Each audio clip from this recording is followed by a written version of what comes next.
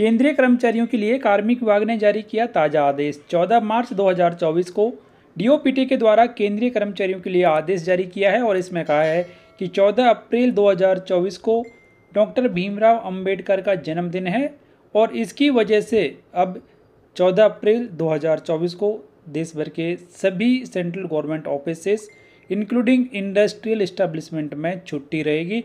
हालाँकि 14 अप्रैल 2024 का संडे है, लेकिन ऐसे कर्मचारी जिनको कि संडे को भी काम करना होता है, ऑफ़िस जाना होता है, उन सभी के लिए 14 अप्रैल 2024 की छुट्टी रहेगी। इसको लेकर डीओपीटी के द्वारा सभी संबंधित अधिकारियों को यह आदेश जारी कर दिया है।